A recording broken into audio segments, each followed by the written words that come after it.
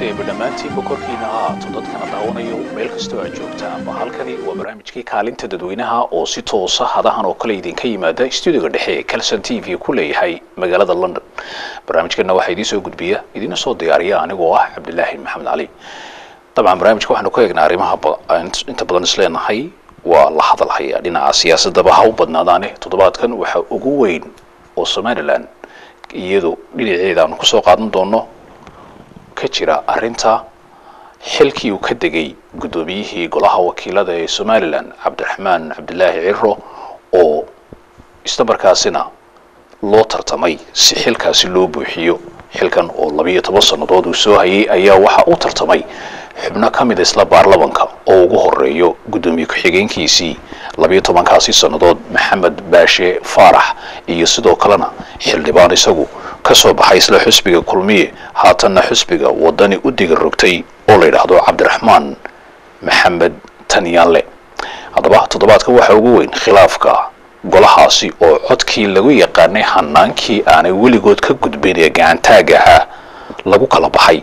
Isla markaasina markii ugu horreysay codayntii loo qaaday oo ay ku sugnaayeen golaha xildhibaan tiradooda lagu sheegay siddeed iyo toddobaatan xildhibaan iyadoo golahu caadiyan golaha muuqaalkiisa haddaan kaas idinka tusno oo ah muuqaalka sawirka ah ayaa waxa uu yahay mid ka kooban laba iyo siddeetan xubnood golaha wakiilada somalilan muuqaalkaasi guud eed arkaysaan oo qayb ka mid a golaha ayaa waxa uu yahay mid ay markii hore golahan aasaaskiisa ee qaabka doorashada tooskii uu u dhacay. Muddo haatan laga joogo labiyo toban sano ka hor iyagoo muddo dheeraadana fadhiya oo ay caadiyan ahayd inay shan inay shan sannadood golaha wakiilada ay ku jiraan. Balse ay kororsadeen amaba muddo kordhin ay ku sii fadhiyeen. Haddaba guddoomiyihii golaha wakiilada ee hore ee cabdiraxmaan ciro oo isagu ah musharaxa madaxweynehe xusbiga wadani oo jegadaasi baneeyey ayaa waxaa badka soo dhigay in golahaasi uu ku tartamo sidii lagu yaqaanay golahaasi loolankii u dhexeeyey xusbiyada somalilan oo ay si dadban iyo si toosaba ay xubnuhu ugu kala jiraan taageerada xusbiyada haba u badnaadaan doorkan xusbiga wadani iyo kulmiye oo xusbiga golahaasi iyagu ah kuwa ugu badan ayaa haddaba khilaafkii ugu weynaa wuxuu ka dhashay codkii markii la qaaday. Waxay dib yar booqan doonaa qaabkii codku u dhacay hambalyadii laysa siiyey iyo sidoo kalena hadaladii iyo murankii ka dambeeyey hase haatee barnaamijka waxaa ila qaadaa dhigaya oo aan iskiin bari doonaa saaxiibkay oo aan barnaamijyada dabcan hore aan ku soo qaatay waa axmed weli sheekh cumar good oo halkan ila qaadaa dhigi doona barnaamijka. Axmed ku soo dhawo qolay barnamijka marka horeysa way soo dhawow. Waxaan aniga axmed iyo idinkoo barnaamijkii kaalinta dadweynaha aynu ku qaadaa dhigi doonaa khilaafka siyaasadeed ee golaha wakiilada somalilan oo xeer maxkamado inuu gaaro. Maxkamadda lafteedu la isweydiinaya ma ku jirtaa ma tahay mid madax bannaan oo iyadu soo saari karta go'aan? Labada dhanba raaligeliya marka ugu horeysa haddaba aynu eegno golaha iyo qaabkii ay codaynta u dhacday oo uu tirinayo guddoomiyaha ku-xigeenkii saddexaad oo isagu labadii jago ee ka horreeyay. Waa ka koowaad iyo ka labaadba la buuxin doono. Kii koowaad baa laysku qabsaday ku-xigeenkii weli lama dooran oo iska casilay maxamed baashe maxamed faarax. Waxa aynu eegi doonaa arrintan. Aanu marka hore eegno muuqaalkaasi.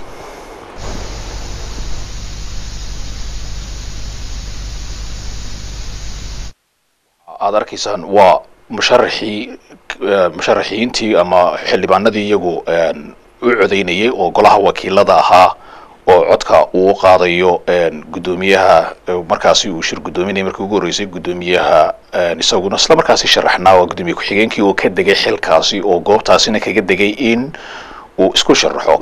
Ninka halkaasi idinka muuqdaa waa cabdiraxmaan xildhibaan cabdiraxmaan tanyaale oo isagoo ah xildhibaan ka soo jeeda gobolka sanaag. Isagoo la tartamayana xildhibaan isaguna ka soo jeeda gobolka sool. Hase yaatee dhinac marka loo eego beelaha ay shaxda ay somalilan inta badan ay qaabka dooligaa gelisay waa kuwo labadooduba meel ka soo wada jeeda loo lagu tilmaamayo. Hase yaatee aragti ahaan xusbi isku xusbi bay ahaayeen. Haatanna waxay kala taageersan yihiin xusbiga wadani iyo xusbiga kulmiye. Cabdiraxmaan tanyaale waxaa hore u ahaa xubin xusbiga kulmiya waxaanu u gudbay dhinaca wadani muuqaalka codkii ayaa aya tiradii lakala sheegayay iyada ku xigi doonta taasi oo muuqaalkaasi uu ahaa muuqaalkii guud ee golaha wakiilada iyo maalintii bishan lixdeedii waa bishan august ayaynu ku jirno toddobadeedii oo codkaasi loo qaaday. Intaana muuqaalka weliba tegin axmed baan marka ugu horeysa bal aan barnaamijka soo gelinayaa. Axmed axmed weli iyadoo muuqaalka ay arki doonaan dadweynuhu hambalyadii iyo codkii ay isa siiyeen xildhibaanadu. Arrinta khilaafka golaha wakiilada ee somalilan waxaa la leeyahay waxay tusaale u tahay labada xusbi ee kulmiye iyo wadani oo ku kala bixi kari waayey sideed iyo toddobaatan cod oo gacantaaga oo aani jirin gacan hoos loo taago qarsoodii jirin. La tirsan lahaa aada ayar u fududayd inay khalkhal geliyaan sida muuqaalo weliba dad siyaasiyiin ah oo weliba dalkan aada u daneeya oo odayaali ay kaga hadleen. Maxaad malaysa arrinta ayada qaabka bismi illahi raxmaan raxiim marka hore waxaan salaamayaa dadweynaha na daawanaya iyo kuwana daawan doono haddii aan la idhaaho waxaan uga mahad celinayaa martiqaadka ay fidiyeen t v kalson gaar ahaan cabdullaahi maxamed oo saaxiibkaya waanu in badan wada qaadaa dhigno siyaasadda. Taxliilkan maanta aynu u fadhino khilaafka ka dhexeeya golaha baarlamanka ee somalilan waa mid noociisa ku cusub yahay oo aan hore loo arkin. Intaanan u gudagelin aan salaamo guddoomiyihii hore cabdiraxmaan ciro oo si sharaf looga degay oo si sharaf le u guddoonsiiyey golihii baarlamanka iyo madaxweynaha iyo dhammaanba intii ay khuseysay waxay ahayd runtii cabdullaahi in siddeetankaa codde lagu kala baxo oo sidii la isugu hambaliyeeyey ay u saxnaato ama markii intaan hambalyada dhicin in la yidhaahdo waa bal hadde aynu hubino laakiin anigu sidaan arkayo talyanle iyo gruubkiisii markiiba way hambaliyeeyeen iyagoo aan hubinin qaladka meesha ku jiraa haddana iyagoo aan meeshii kaba fogaanba ayuu qaladkii soo baxay. Kadibna dee qaladku waa meeshii kolba lagu qabtoba marka way iyaguna wayse soo taageen markii dambe.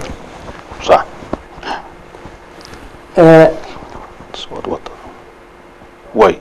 Marka adu waxaas leedahay waxay idin codkii marka hore lagu kala baxo. Ayay soo ma exactly. Way siddeetan codde maxaba laba sideed todobaatan cod oo loo qaybi. marka sagaal iyo soddon iyo sideed iyo soddon marka la eego waa hal cod waxa udhexeeya laakiin anigu waxaan aaminsanahay cabdillaahi ow in hadduu qalad jiro iyo hadduu sax jiroba ay xoghoynta og tahay oo qaladka jira hadday qalad sameeyeenna ay xoghayntu samaysay haddii aanay samayna ay xoghayntu ka jawaabi karto. Xoghayntu xoghayntu way ka jawaabeen. Waxay sheegeen inkastoona muuqaalka soo daynaynin laakiin way sheegeen. Waxay yidhaahdeen anagu tiradu sidii aanu utoo tirino baan ku gudbinay oo aan ugu gudbinay shir guddoonkii markaa codka tirinayo guddoomiyihii saddexaad ahaa. Marka codkeenu eegi doonaa bal haddaba qaabkawaxaynu ognahay go'aankii ay soo saareen iyo filmadii wax walba oo caddaan. La soo daayey inay iskhilaafsan yihiin oo yani xildhibaanadii oo life iyo ayaga hadlayaan. Sagaal soddon anagu ugu cadayna taliyaan arrin kalea ku jiri karta oo waxa weeyaan yaraa- mushkiladda ugu weyn ee jirta maaha gacan baa la taagan weeyaan. Laakiin ma jirto meel sanduuqa oo cod lagu riday waana waxyaabaha foolxumada ugu weyn ee ka jirta waa weyn Muuqaalka- eegno marka ugu horeysa qaabkii codka codayntii iyo hambalyeyntii ayaynu eegaynaa bal sidii ay codka u bixiyeen wuxuu helay soddon iyo sideed baashe maxamed faarax soddon iyo sagaal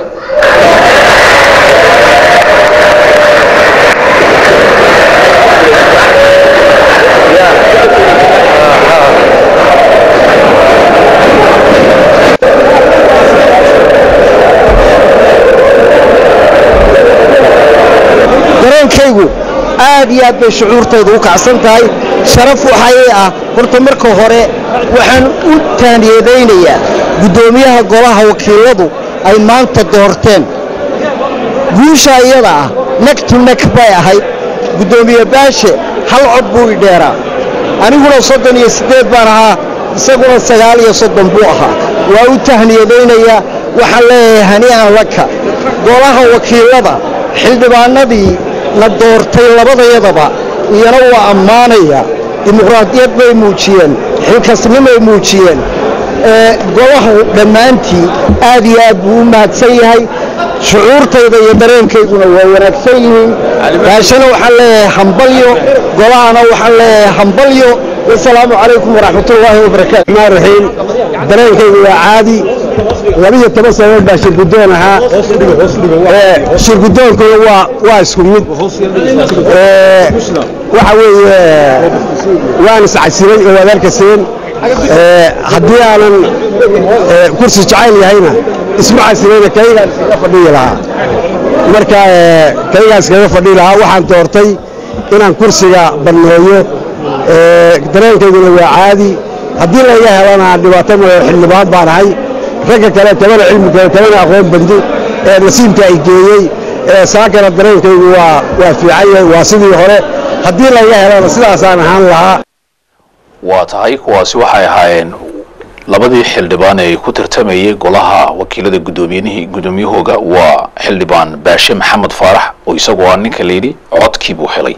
Iyo xildhibaan cabdiraxmaan maxamed tanyaanle oo isaguna codka uu helay uu ka ka duwan yaho keliya hal cod waa waxay kala heleen sagaal iyo soddon cod iyo sideed iyo soddon cod. Hal cod baa udhexeeya way is hambaliyeeyeen hambaliyay sameen dadka dadkao dhan bay tuseen inay farxad ay tahay qaabkay u dhacday waad maqlayseen hadaladii ay jeediyeen.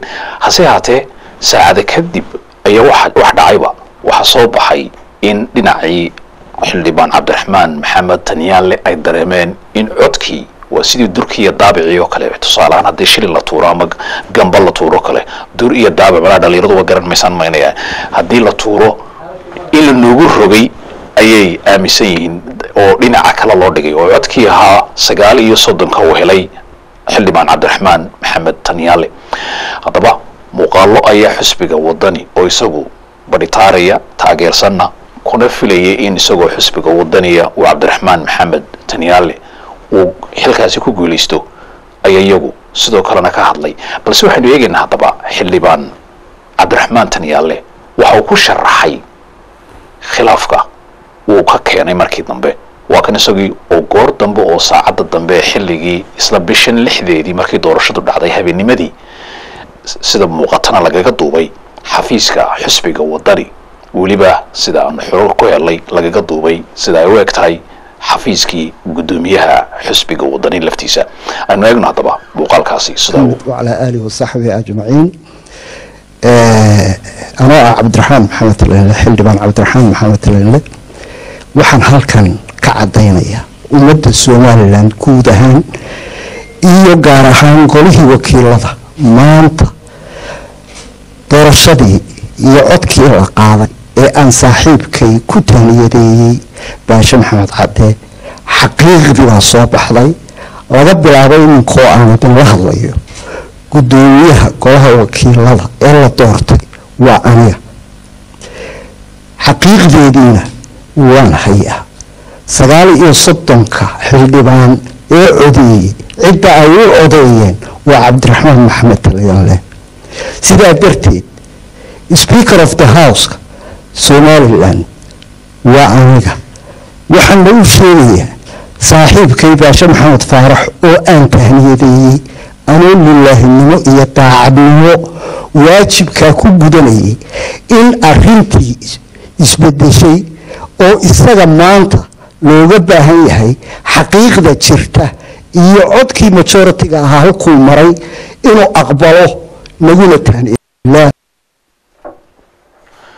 waa tahay kaasi wuxuu ahaa xildhibaan cabdiraxmaan maxamed tanyaanle oo isagoo ah xildhibaanka ku doodaya in codkii ahaa sagaal iyo soddonku isagu lahaa halka sideed iyo soddonkana uu lahaa xildhibaan baashe maxamed faarax.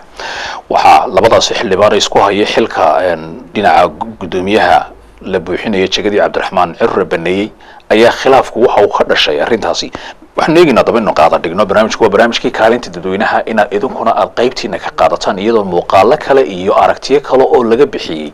Iyo sida sharaxaadda arrinta sida looga daba tegi karo oo inoo soo socda cabdiqaadir ismaaciil jirta oo ka hadlay iyo sidoo kalena odayada loo yaqaano odayada madasha wadatashiga somalilan ayaa iyaguna arrintaasi ka hadlay. Weliba waxay uga hadlayaan waxa uga muuqda khilaafkan iyo tusaalaha yahay. Marka ugu horeysa aan ku soo noqda saaxiibkay axmed weli good sheekh cumar good axmed weli waad arkaysay way ishambaliyeeyeen way isku gacan qaadeen codkii waa la tiriyey. Waxaa la kala helay sideed iyo soddon iyo sagaal iyo soddon mid helay doorashadani umay dhicin sida caalamka quruxda badan ay u dhacdo. Xataa meelaha qaar ay somalilan ku faanto inay kaga horeyso codaynta. Sanduuqba halkaa la soo dhigaa qoraarada laga dhaxarkayo qof waliba wuxuu uu ku qorayo warqadda halka uu ku ridayo. Laakiin tan waxaad moodaa in ay dhici karto. Weliba waan gelin karnaa in qof gacan markii hore u taagay xildhibaanada mid ahaan in aanu markii dambe gacantiisii aanu taagaynu leeyahy meel kale aan codeeyey taa ka warnayda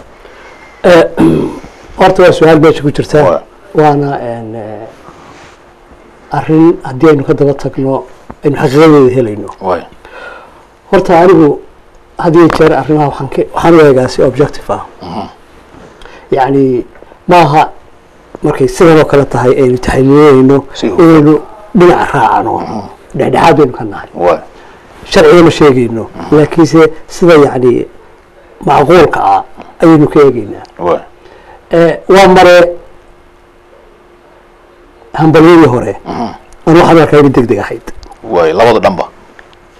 Labada ishambaliyeeyeen way sambaleeyeen inay deg deg ahayd Eh, qaladkana waxaa sameeyey anigu sidaan aaminsanahay xoghaynta ujeeddadii doontaha u sameeyeen. Anu saan u arkayo. Aan kuu saxee waktiga uu taliya la hadlay malan habeennimadii. Way habeniba sanayaadii warkii igu soo gaadhay ee aan anigu xogta ku hayo waxay ahayd muddo laba saacadood dabadeeda oo ay intaa ka mormayeen ama ay ka doodayeen qaabkii ay u sheegi lahaayeen. Laakiin anigu mid taliyana kuma raacsani. Inuu yidhaahdo aniga ayaa ah Guddoomiyaha. Waa. ah taa kuma raacsani languageka.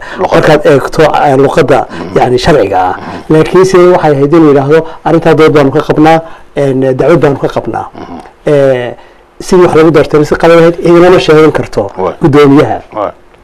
Mid kalena qalad baanu arkaayo arrinta dowladdaa ku jirta. Waxaad arkaysaa imiga baashe oo ka ololeynaya een, gobolladii bariga. Isaga oo ah guddoomiyihii la isku haystay. Xilkii- waxaa la socda ah wasiiradii iyo musharaxii kulmiye. muuse bixi waana weliba dadka deegaankan waxa laleeyahy waa guddoomiyihii aanu soo dooranay guddoomiyahaanu soo Ah, dooranay hadal kama Ha. ah way way marka way, waxa weeyaan fiican. een, eh, arrintu waxa weeyaan way qasan tahay. Ciddii sixi lahaydna ama waa baarlamaanka laftiisa Ah. oo dib loogu soo celiyo. Oo dib loo codeeyo. Oo dib loo codeeyo. Ama waa maxkamadda oo dee mowqif qaadata maxkamadiina mushkiladda hortaalla waxa weeyaan sharcigaan jirin arrimahan oo kale u dhigan oo ay raacdo. Way jiraan qaar qareemo ka mid a qareemada matalan magacyadooda oo kalean sheegano gareen ah, garyaqaan maxamed ah, cabdiraxmaan iyo siciid cabdilaahi iyo ka oo yidhi maya maxkamaddu way way way waa arrinta maxkamaddu way ka qaadi kartaa waa laga garnaqi karaa. Laakiin haddana waxaa jira xil iyaguna garyaqaano leh. Arrintani maxkamadii waxba kama qaban karto. Khilaafku waa badan yahay.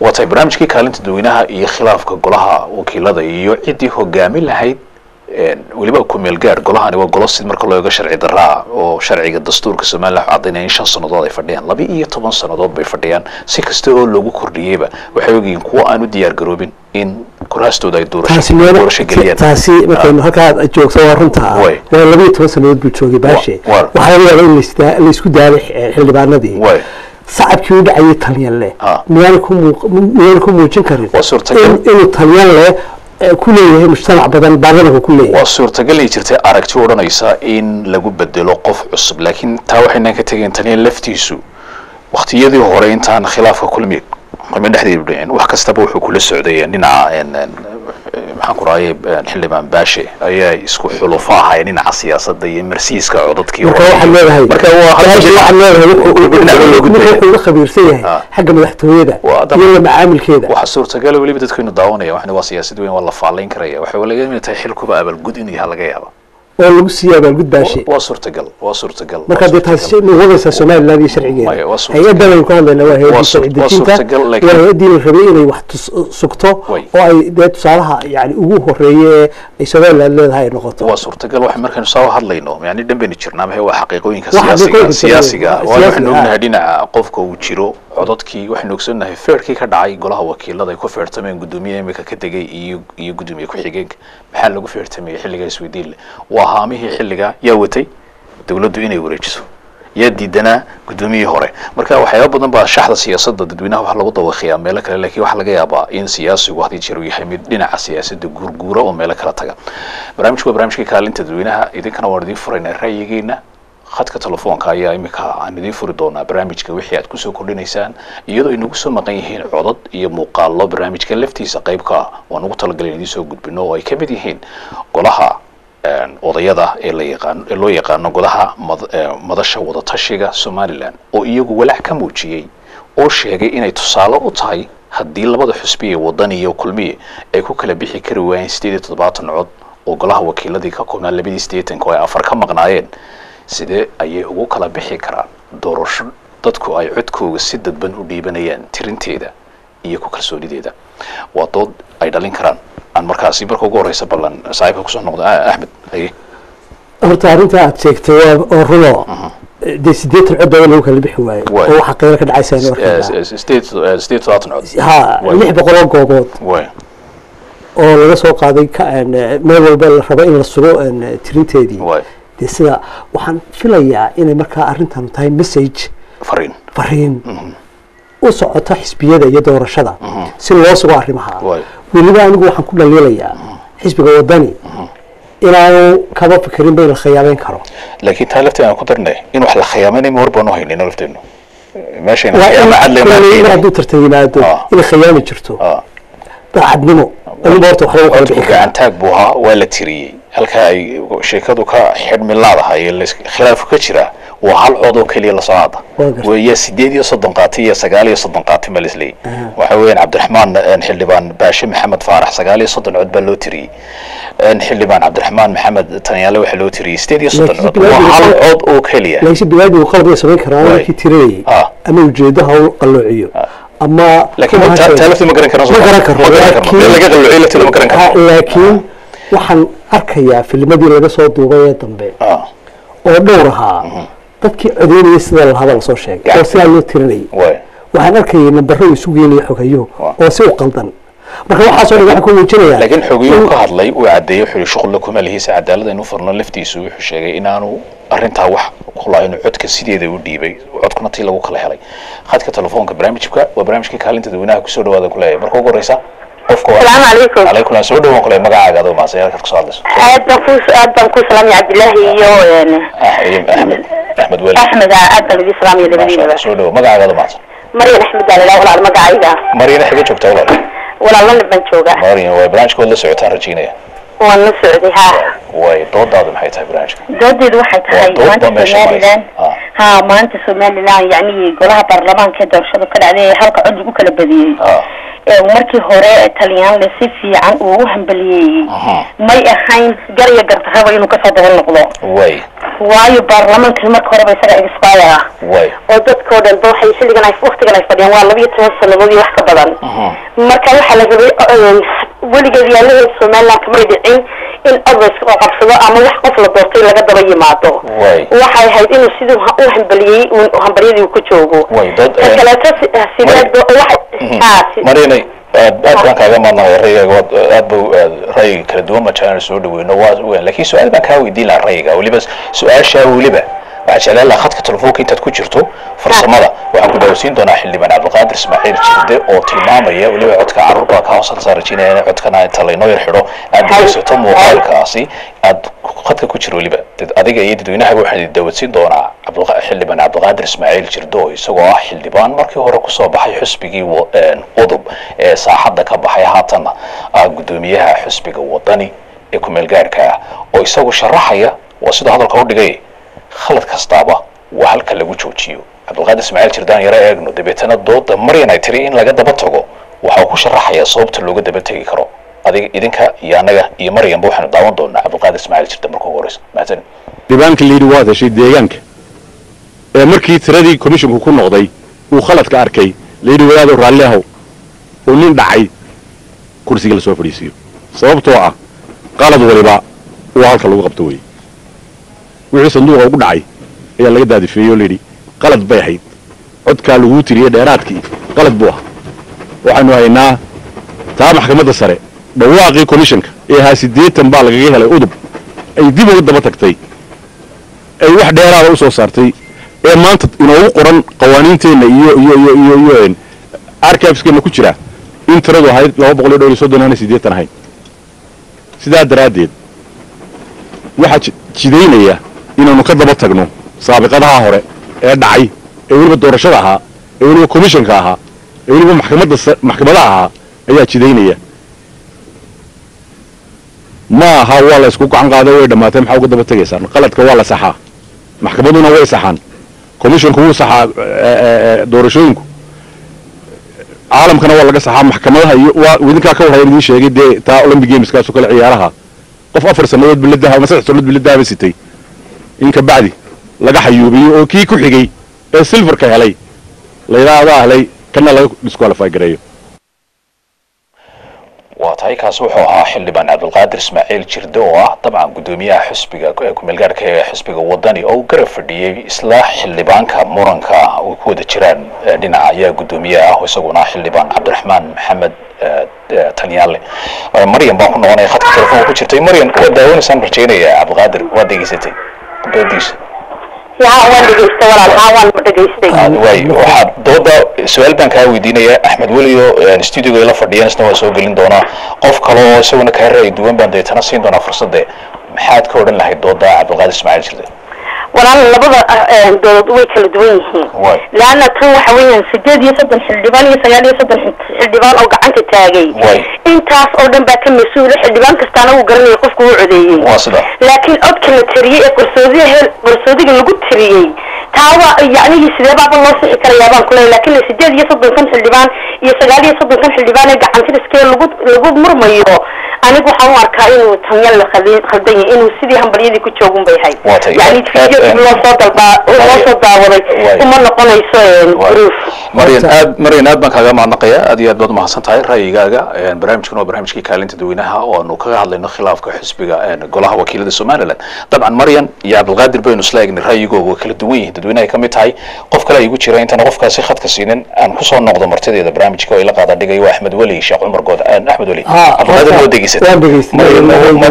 mar haddii la ishambaliyeeyey Ma horta in lagaga daba taga maayo horta maryan waan ku ixtiraamayaa ra'yigeeda ee, dad la qabaana kolley way jirayaan laakiin dee xaqu ee, yacni kuma joogsado uun hala joojiyo hala iska daayo hadday nimankanu wax xaqdaraa lagu sameeyey ee, maxaa la yidhahdaa talyanle iyo gruubkiisa dee hadday ka doodeen oo yidhaahdeen ee, qalad baa dhacay. Jirdana uu yidhi dee qalad kolba halkii lagu qabto. Oo dib baa loo soo celiyo adduunkana way ka dhacdaa. Anu waxaan aaminsanahay in dib loo soo celiyo oo xal laga gaadho. Sida maxkamadda loo gudbiyo ay dowladda gacan geliso oo ay odayadu gacanta geliyaan oo ay xisbiyadu iska arkaan.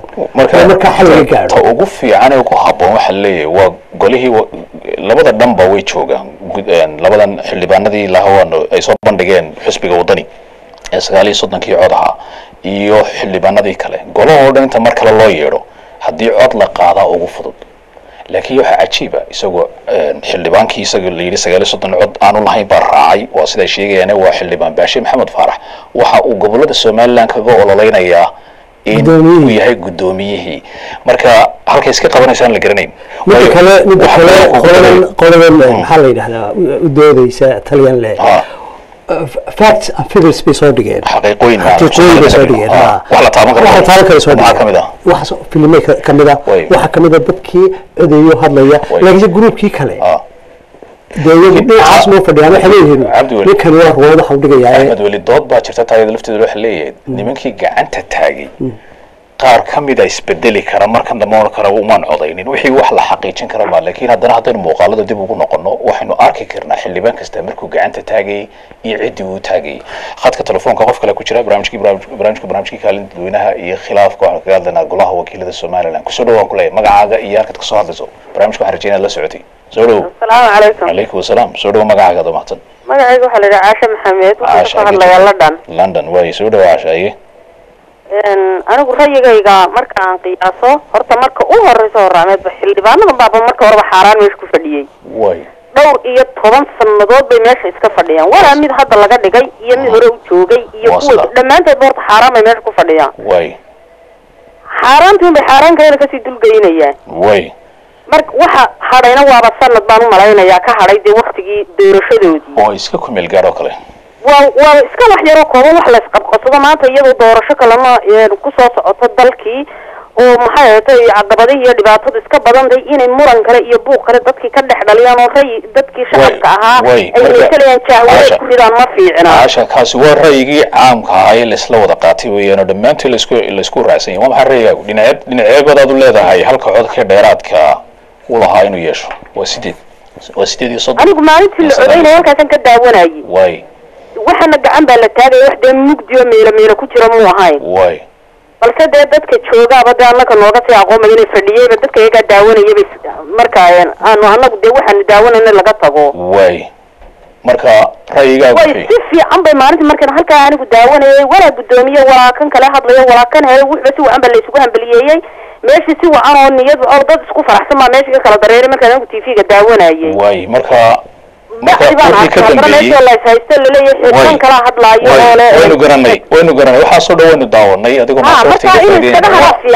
wax sanadba u hadhaan wax badan ba ahayn inuu ka hadhaano aan meeshii buuq iyo dhibaato la gelin inay iskagaba hadhaan isu haneeyaan baa fiican. Waad mahadsantay aad iyo aad baad umahadsantay la isku haneeyey. Waayo codka waxaan fahaya dhan layskuma siiyo. Haneyskaasi waa halkay taagan tahay weeyaan Aan- axmed weligood eh, gabadhaas wax tiri lais- la isku haneeya wax la isku haneeya somaliland malaha ma jira mar maane dee maya gabadhii arrintaasoo kale uba tiro Ah. dee dumarkii waxay rabaan maslaxad iyo wanaag Way. wax isqabqabsada ma rabaan laakiin dee sharcigu sidaa ma aha way. Soomaaliga meeshan qolaa waxay tirsanaysaa in sharci darre lagu sameeyey. Oo codkani uu yahay cod sharci darre ah oo ninkan lagu siiyey. Weliba mid soo dhexgeliyo waxaa jira iyaduna xukun ka dhacay dhinaca xukuumadda somaliland oo wasiirka warfaafinta uu hadlay. Waxa weeyaan cadaani oo isagu sheegay wasiirka warfaafinta somaliland in ay u aqoonsan yihiin baashe iyaga laftooda waxay ku degdegeen in haddii khaladba uu dhacay meesha ka dhacay in la hubiyo. Marka meel odhan kartaa lafteedu waa wax iska qorshaysnaa wey kulley wasiirka waayo haddii haddii waxay in in la hubiyo meena kulley haynin wasiirka warfaafinta iyo wasiiro kaleba u yar degdegaan ee Way. ee xukuumadda siiraayo. Marka waxay ahayd inay madaxtooyadu ka hadasho haddii ay xagga xukuumadda tahay way Ma- marka madaxtooyadu wax qorshaysan oo ama ay raacsan tahay ama ay diidan tahay bay ama ay meel kale u gudbinayso ayay samayn lahayd. Laakiin dee wasiir iska hadlay oo iska qiirooday. Dee barnaamijkan buu qayb ka ahaa qof kale qof kalenu khadka telefoonka siinayna aad baad mahadsan tahay. Kusoo dhawo barnaamijka. Barnaamijku waa barnaamijkii kaalinta dadweynaha ra'yigaagu muxuu yahay soo dhawow waad ku jirtaa barnaamijka. Ka faa'iidayso waqtiga adigoo mahadsan. Waan kaa gudbaya haddii kale. La soco. Salaamu calaykum waalaikum salaam dumar beri ma soo hadlay waan maynayaba siyaasadda aad ula haysta. Codka kor u qaad adoo mahadsan magacaaga salaamu calaykum. Calaykum salaam. Magaca walaalo waxaa la yahdaa walal faadma cabdi faadimo codka xooga kor yar qaadin yar caajis siyaasadda ku yar caajis baad ku yartaad moodaabay adoo raalli kaftana iga haatee ya faadma cabdaa la yidhaa waay xaggee joogtaa london baan degan london. Ra'yigaagu muxuu yahay adoo mahadsan waxaa laga yahay markii horisaad soo hadashay inay tahay. Ha waay miyaan hadlaa? Ra'yigaagu muxuu yahay marka waa barnaamijka toos ugu jirtaa barnaamijkan aan doonay barnaamijkan aan raba inaan dee halkaan baa kun baan la kulmay. Way. ka yar hadlo. Faadimo waan ku dhegaysanaynaa waa cabdillaahi baa kula hadlaya si toose dadkuna kuu maqlayaan. Waan arkaya maalintii doorashada sida u dhacday. Waad arkaysay laakiin ra'yigaaga ku soo koobo muxuu yahay? Ku noqon mayno waxaynu aragnay ra'yigaygu waxa weeye. Meesha inay wax ku jiraan baa muuqan karaysa. Inay wax ku jiraan baad ka dareemaysaa? Ku jiraan baa muuqan karaysa. Way. Maxaa ku jira laba nabar labadaba. Way. Mid weeyaane horta tiradana way isla ekayd waa isku dhowday tiradu. Tiro isku dhow bay ahayd waa sax. Ha isku dhawaate eh waa la bedeli karaa. Way. So waxa garatay maaha. Way. Haddii ay taasi timid oo waxa dhacday noqoto iyo haddaanay dhicinba ninka dhowr iyo toban sano fadhiyey walaalkiisa maanta meesha ku xusud inuuga tanaasulay had inuu saa ku hambaleeyahay sooma ku hambaliya iyo ha way. Aad baad umahadsan tahay gabadha hore ra'yi tahay mahadsanid ra'yigaaga waa cadiya barnaamijku waa barnaamijkii kaalinta dadweynaha. Haddaad hadda noogu soo biirto waxaanu ka hadlaynaa khilaafka golaha wakiilada somaliland guddoomiyihiisi laysku hayo. Waxaynu la soconnaa ilaa hadda in xisbiga wadani oo weliba uu hadlay ninka ugu culus een weliba aad u ixtiraamana xildhibaan muddo dheer golahana ku soo jiray shuruuc badanna u soo joogay oo aan la dhayalsan karin yani waxyaaba uu ka hadlayaa inay yihiin waxyaaba badan oo shan qodob uu ka hadlay dhowr qodob ama qodob ama laba qodob aad ka daawateen oo xildhibaan cabdiqaadir ismaaciil jirde in khaladkii dhacay meel lagu qaban karo. Arrintuna waxay taagantahay lama qaban karo waayo xildhibaan maxamed xildhibaan baashi maxamed faarax waxa uu ku sugan yahay oo xilligan uu markii ugu dambeysay ku sugnaa gobolka sool. Oo ku ololeynaya yahay guddoomiyihii golaha wakiilada wax khilaafiba ma jiraan. Waxay isweydiin laha iminka golihii muxuu ku sugan yahay? Golo ahaan muxuu ku sugan yahay iminka iyaduna? Marka taas waxaynu eegi doonaa. Golihii wuxuu ku sugan yahay waa golo qaybsan. Way. Waa walaaho wixiisa Dad waxaan ka hadlaynaa- sharci adeeg conse- waxaan ku sheegayaa consequenceska yani oo ay arrintan ku yeelanayso Saamaynta. saamaynta ay ku yeelanayso golaha arrintan. Golaha waa golo sharci dejinta. Waxaa la rabaa in ay sharci dejiyaan. Waxaa la rabaa in ay mooshin qaataan. Way, qaybsan yihiin. Murankaasi mar walba ilaa iyo inta doorashada ka dhammaanayso ilaa iyo inta soconaya. saasuu soconaya marka aniga waxay la tahay in arrintii la dismiss karo la baabi'iyo ah, oo dib loogu soo celiyo in golihii cod kale la qaado la qabo weliba si professional official sidaynu sheegayno. ee labada quruureed soo maxaa diiday taa ha way, oo markaa la way, tiriyo. oo axmed aad baad mahadsan tahay Ee, barnaamijka anigoo weliba qaybaad ku leedihiin. Rayga dadweynuhu mar walba waa u muhiim barnaamijkan. Maa barnaamij kaliga aanu idinku aan halkan u wadayno. Qof baan khadka telefoonka ku jira siinaya. Kusoo dhawo magacaaga mahadsan aa walaal waa hooyo dumar badhima maasha allah siyaasadda la haystaya. Magacaaga mahadsan codkana kor u qaadado mahadsan aa walaal hooyo soomaaliyeed. Magacaagaada mahadsan hooyo iyo aabba ku dhalay. Magac bay kuu bixiyeen ada mahadsan magacaaga sheeg. Aamina. Aamina. Aad baad mahadsan tahay aamina. Iyo xagad ku soo hadlaysa aaminay? London waayo aamina dadka codkaaga yaqaanii magacaas la eeganaya moogtay si haddii Ah, magac waa kala sax. way soo dhawo markaa walaal waan soo dhawoon idin salaamaya horta adiga iyo inankan kaleba way soo dhawo arrintan golaha ka dhacday horta golaha hadda uma cusba waa wuxuu caada ah way. Soomaalida waxay ku mahmaadaa hal hal nirig wa- mahmaad bay ga maqan hal xaaraani nirig xalaala ma dhasho. Waati waa tii geela way isqabqabsigan iyo waxaana waa wax caada waa iminka haddii labadooda isqabsadeen maxkamadii kala saari lahayd. Kulmiyay la safantaha way. Waa saad aaminsan tahay markaa in- maxkamaduna waxaad markaa aaminsan tahay xaggaan raygaaga u qaadano aad baad mahadsantahay raygaaga wuxuu riixaya dhinaca maxkamadda iyo tionu ka hadli doono. Waxaad leedahay markaa haddii maxkamadda laysla tago kulmiyay raacsantay ha dee laana dadka waxaa kala saara marjicii loo noqonayo. Waxaana dadkii waabay sii dhacayaano waktigoodi uu dhammaadee dadka un yare shacabkun baa hololo lagu ciyaaraya waxa wacan inay ammaankooda dadka u sugaan. Aad baad u mahadsantahay mahadsanid waan kaa gudbayaa barnaamijka ayaanu ku jirnaa kaalinta dadweynaha waxaan qadar idiira daawodsiin doonaa sidoo kalena xaaladda uu ku sugan yahay golaha wakiilada somalilan waxaa ka hadlay isagu wasiir ku-xigeenka wasaaradda amniga somalilan oo mar dhalinyaro saxafiyiin ay wax ka weydiiyeen.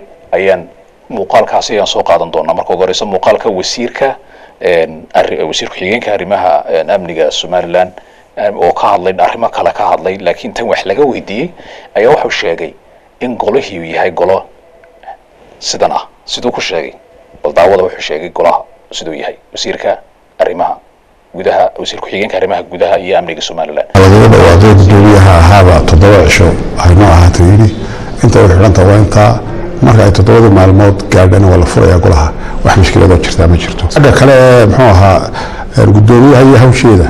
Qoladii diiday dee maxkamaday tegeen hawshuna maxkamaday taalla iyagoo ay geysteen. Hala sugo dee jawaabteeda. Waa tahay wuxuu ahaa wasiir ku-xigeenka amniga somalilan oo isagu ka hadlay golahu sida ku sugan yahay waxaa sidaa uu sheegay waxa uu yidhi golahu wuxuu u xidhan yahay waa magaca ma sheegin laakiin ninkii odayga khilaafka yani arrinta khilaafka ayuu xidhan yahay. Toddoba casho ayuu xidhnaanaya. Taa macnaheed waxa weeyaan waxaa laga hor joogsanaya axlaalihii guddoomiyaal ee iyagu idhahdo xildhibaana ee raacsan. Aragtida odhanaysa baashe maxamed faarax ma aha guddoomiyaha codka helay.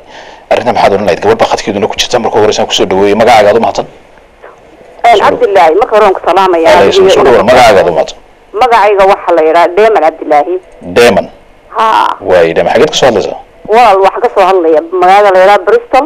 Bristol soo dhawo waay ya waxaan rabaa inaan fikirkayga in yar ka hadliito arrimahan beryahanba wiiganba aan shaashada ka daawanayna golaha dhawow. baarlamaanka somalilan waayahay adigoo waktigan inooga faa'iideynaya waxaad ku soo koobtaa raygaaga halka aad leedahay uu ugu muhiimsan yahay. Adigoon ku noqonaynin wixii dhacayo no- la ognahay oona soo daynay aan dadku hadleen. Okay okay walaal waxa weeyaan qalad uu dhacaa uu dhacaa laakiin waa la saxaa. Waa la saxaa waa dhab wey soo ma garan marka talina si fiican buu u hambeliyey nin aada u sharaf badan buu ahaa. Bacdaama ay qaladku soo baxay oo maarka nimankii baarlamaanka kale talilo wada codeeye aan codkoodana wada dhegaysanay. Mhm. mid kale uu jiro nin ma maaragtay baarlamaanka een, ka tirsanaa isaguna mar hadlay. Uu yidhi waxaa laygu yidhi dhinacan ku soo biir haddii kale waa loo hanjabay malaha waad shaashada marbaad ka daawateen. Ma waa la tartami karaa mushkilad male waxaynu ogsoonnahay somalilan kaa dhexgalaya adoo maasan diamond waxaa jira somalilan golaheeda lama codeeyo wax aan dibadda lagaga soo shaqaynin. Waxay dhaqan u leeyihiin in dibadda lagaga soo shaqeeyo lagu soo loolamo ciddii wax loo laabayo loo laabo oo dhaqana yaallo u baahan in la bedelo weliba codaynta lacagaa la kala siistaa baa la yidhaahdaa. Golo isdifaacaya inay noqotaa waxaan- laakiin wax xaqiiqo jirta weeyaan wax jira weeyaan waxaan ra'yigayga ku soo koodayaa qalab kasta waa la saxaa.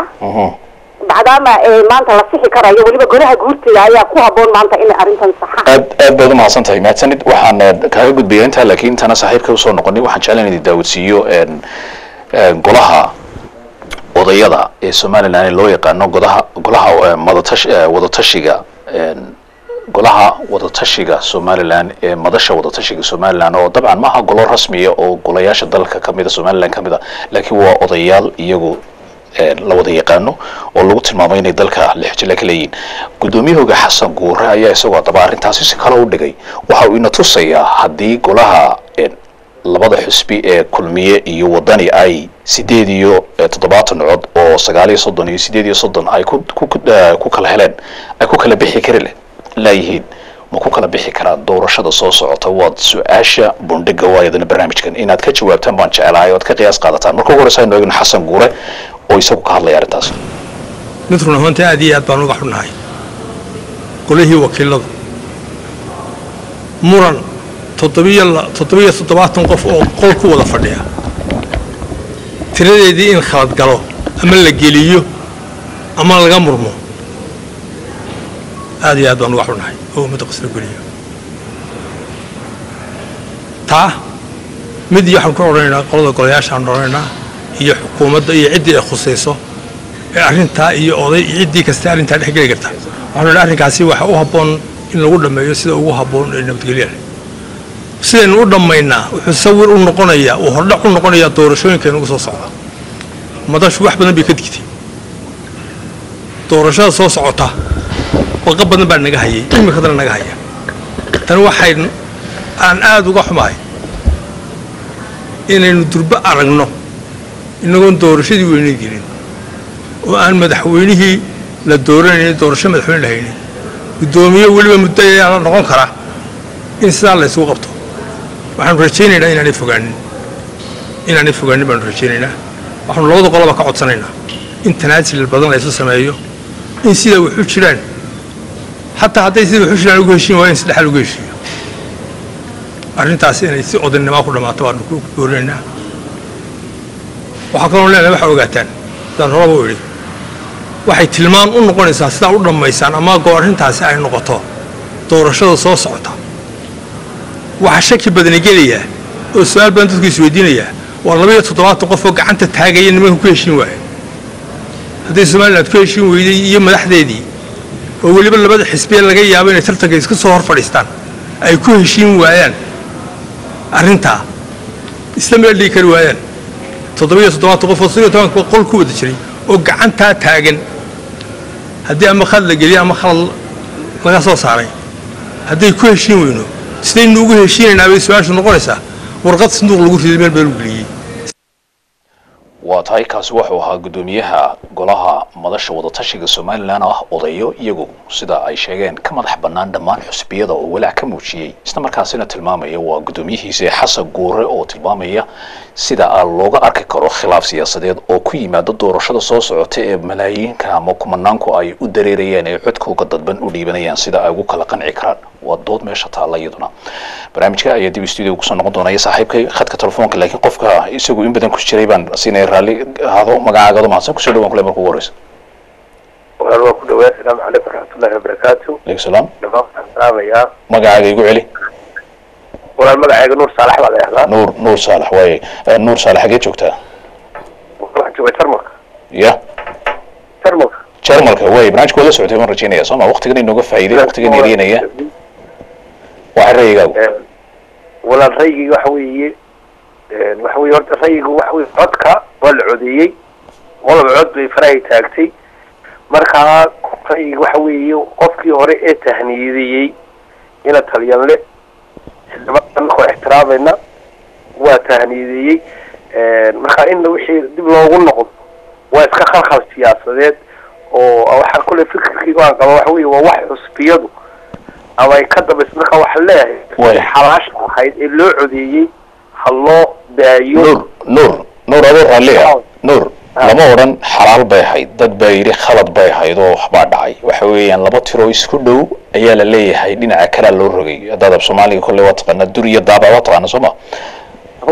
Okay dur haddii durkii loogu dhinaca kale loogu rogo ciddii sagaal iyo soddonka lahayd dee yidhi sideed iyo soddon baad leedahay miyaanay xaq u lahayn in dib codka loogu noqdo walaal waa waa waa arrin wanaagsan. Way markaa markaad markaa aragtida odhanaysa khalad baa dhacay ee halkeeda ha lagu qabto.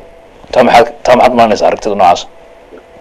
Anigu waxaan u arkaa khaladka laleeyahy wuu dhacay. Horta waxaadan ogeyn lama xukumo xukunka lama gooyo. Way. Laakiin wixii aanu aragnay meeshana ma joogno waxaanu aragnay waxay ahayd in lagu dhawaaqay. Si wanaagsan baan u daawanayey doorashada socotay wixii lagu dhawaaqay baan anigu aaminsannahay ono indhahay ku arkinay inay sax ahayd. marka tiradii lagu dhawaaqay baad aaminsan tahay aad baad mahadsan tahay waa ra'yigaaga xor badan tahay mahadsanid nuur saalax oo ka soo hadlayay dalka jarmalka axmed weli good waktiguna gabagabi nagu yahay laakiin kolley qof kalena ra'yiga waan siin doonaa.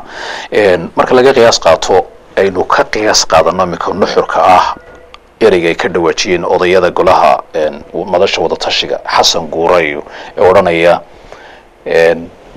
yani doorashada yare sideed sideed toddobaatanka cod bay ku kala bixi kari waayeen. Labada xusbiya la filayo haddaba labada xusbiya la saadaalinaya muuqada inay codka doorashada kala helayaan oo wadan iyo kulmiya ma ku kala bixi karaan. Yani arrintaasi walaac ma abuuri kartaa in doorashadaasi dhici dabcan inaga aynu sheegnay walaac way abuuri kartaa. Laakiinse tani fariin tahay baynu nidhi. Doorashada si haddi kadib loo soxo oo laga digtoonaado in aan wax qaladin dhicin. Aanu sanaaduqa uga dhicin laakiin golahan muxuu ahaa wadatashigu waa niman odayaala ixtiraam badan waan u qabaa. Maxay xal keeneen iyagu? Waxay xal keeneen. Xalkoogu wuxuu ahaa in arrintaa ciddii lahayd buu weliba barnaamijkuna soo gaabinay muuqaalka waxay sheegeen in ciddii lahayd ay ka gasho khilaafka somaliland hay'ad baa jirta khilaafaad siyaasadeed u qaabilsan iyo khilaafaadka beeleed. Waad garanaysaa hay'adaas way way taas. Kolley magac bay lahayd imika ma xasuusto. golaha guurtida minayn waa iyaga weeyaan iyaga iyaga golaha guurtida golaha guurtida ha ha way. In iyagu in khilaafka ay dhameeyaan bay aaminsan yihiin aniga waxay la tahay inaan golaha guurtidu dhamayn karin waayo waayo golaha guurtidu dee wax cad baan la hayaa qalad cad baan la hayaa oo ay qoladii taageeraysay taliyaan ay yidhaahdeen. Waa tan. Soo cad garatay ma? Marka in golihii lagu soo celiyo oo hadduu saxni waayo markaa dee guurtida loo gudbiyo mooyaane. Marka ta ugu dhow waxaad leedahay inta golihii dib loo fadhiisto. Inta absolute la odeeyo la odeeyo Taama- taama raalli ka- taana anigu uma arkayo inay dowladda diyaar u tahay. Waayo ama xisbiga kulmiyeen taageerayaashiisa taageerayeen. Baashe. way qaybsameen xisbiyadu. Oo kuwa wadani ahaabaa u codeeyey baashe kuwa kulmiye ahaabaa u codeeyeen marka arrintii si kale u kala baxday. Oo waxa weeyaan eh, xisbi laguma salayn karo imiga laakiin waxaad moodaa xisbiga wadani inuu yahay ka u doodaya ninkan la dulmay ama dulmiga lagu dowladdiina waxaynu arkaynaa iyo xisbigii kulmiye. Inay baasho garab siinayaanoo dee kaba ololeynayo barigii soo way. Marka anigu waxaan aaminsanahay midda kale waxaad ka soo dhowday arrintan uu ninka wasiir ku-xigeenkii uu sheegay. Dee golihiiba wuu xidhan lama sheegin nooca ciidan ee jooga ciidan waa baa xidhan yahay waa xidhan ciidan baa alert ku ah. Way. Soo wad garan oo halkaa jooga wasiirku wuxuu sheegay inuu u xidhan yahay baashi. Ah. dee baashi awoodda intaa leeg isaga oo lagu haystaba baashi. Ya Way. inuu amarka intaa leeg bixiyo. Dee waxa weeye waa tu dowladuna ka dambayso aad baad Aan mahadsan tahay salaamsan. waa sida tahay qo- qof kale ayaynu siinaa barnaamijka ku soo dhawaan kuleeyahay waa qofkii ugu dambeeyey malamalaya barnaamijkii mudan buu socday. Magacaaga iyo halkaad ka soo hadlay soo dhawaan kuleeyahay walaal magacayga amina siciid baa la yidhaahdaa waxaan ka soo hadlayaa london aamina soo dhawaay in dowra barnaamijka waa la socda runtii aad baan idin salaamaya labadiina xubneed arrintan aan caawa falanqeynayna runtii waa arrin qaran. Maaha arrin shaksi arrin xusbina maaha waa arrin qaran. Arrinta qarankana waxay ku wanaagsan tahay mar walba in sideeda looga hadlo oo daacadnimada looga looga hadlo. Haddii la xusbiyeeyo iyo haddii la xaafada xaafadayo wejiyo kala yeelataa. Anigu waxaan qabaa golaha baarlamaanka wuxuu yahay waa erdhaaradii ugu cuslaa ee somaliland erdhaaraduna hadday tagaan dibsigu dhexduu ku dhacaa. Way marka dadku soo arrintani waa arrin culus waayo culayska markaa wixii ka dhacay marka dhahaynade adoo mahadsan waxaas dhan isla garanay. Miisaamiyadda miis- miisaanka uu leeyahay iyo khilaafka waxaan isla garanay. Laakiin ra'yigaagu halkeebaad cuskan lahayd adigu ood leedahay. Halkaasaa wax ayaa wax ka sax- saxsan yihiin ama ka khaldan yihiin ama laga sixi karaa waxa laga sixi kara waxa laga ka khaldan goruhu si khaldan buu wuxu doortay waay marka waxaad aaminsantahay in si khaldan wax loo doorto si degdega ayuu horta xaalkiisu ahaa. Waxaan haynaa kiliibo buruufa oo shirgudoonka uu tiradii hayo. Inanka xooghayaha shicirtana lama qaybiyo. Inanka xooghayaha ah iyo ciddii kula socotay ayaa kiiskan galay dembigana galay. Waana dembi qaran way dooda aad baad umahadsan tahay. Dooda aad haysa waa doodii xisbiga wadani weeyaan aad baad umahadsan tahay waana kaa gudbaya Een, aad iyo aad qof kale haddii uu jiro fursada ugu dambeeya aan siin karaa uu jiro waqtiga ayaan noo saamaxaynin aad baan uga xumahay. Dhammaantiin meel kastood nagu daawanaysa barnaamijka kaalinta dadweynaha aniga iyo axmed weli ayaa barnaamijkan aad sidoo kale aad kala qayb qaadateen intiin waqtigu usu- u saamaxay ama aad fursada u hesheen. Een, gebagabadii axmed weli waxaa su'aasha noqonaysaa maxaynu saadaalinaa maanta wixii ka dambeeya ilaa berri siyaasadda somaliland way isbedbedeshaa ugu dambaysta qodob kooban haddaan soo qaadano halkay isla dhigi kartaa baad malinaysa halkay ku dambaynaysaa? Balan isla wada meel dhigno dhammaantiin baynu saadaalino. Horta xalku hadduu ku iman waayo si dowladnimo si automatic u imanaya. Waktiga ayaa xalili doonaa laakiinse anigu waxaan aaminsanahay si aanay doorashadani khalkhal ugu dhicin. Ama aanu baarlamankii u noqon baarlaman faashil ah oo aan waxba goyn karin. In arrinta dib loogu soo celiyo baarlamankii ama ay maxkamaddu mowqifka noocaasa qaadato. Ilaa iyo inta laga helayo qodobo ay hadhowto maxkamaddu saadaashu waxay noqonaysaa runtii eh, reer bowyaa kule waay saadaasha aad baad mahadsantay kaasi wuxuu axmed weli eh, good waxa weeyaan aqoon-yahan degan magaaladan london oo dalkan britain barnaamijyadan igala qayb gala dabcan waana axna ka qora siyaasadda somaliland iyo arrimaha geeska afrikaba. Een, dabcan saadaashu way badan tahay. Idinka laftiinu saadaal baad haysaan ra'yi baad haysaan ra'yadiinu kala duwan yahay. Somaliland waxay sheegtay in dimuqraadi tahay. Tani waxay tijaabo ku tahay astaamaha dimuqraadiga iyo weliba in xataa meelaha qaarkood dadku ra'yigooga ay dhiiban karayaan oo si xora oo hufan ay u dhiibi karaan ra'yigu waa fara badan yahay. Waxaynu eegi doonaa halkay saldhigto waynu sii saadaalin doonaa waynu qaadadhigi hadday sii jiidan- jiidanto waxyaabaha ka soo baxa ayaynu barnaamij aynu ku eegi doonaa. Waxaan se ka cudur daaranaya waqtiga oo intaasi. In ka badan aynoo saamaxaynin. Dhammaantiinba meel kastood nagu daawanaysaanba waa anigu cabdullaahi maxamed cali toddobaadka dambe ayaynu eegi doonaa. Hadba barnaamijyadaan isleena soo qaata. Meelaad joogtaan baa waxaad leenahay. Nabadda iyo naxariista eeba dhammaantiinba korkiina ahaato sidaas iyo nabadgelya axmed weli aad baad mahadsantahay waqtigana aadan siisay aad baad mahadsantahay axmed weli mahadsanid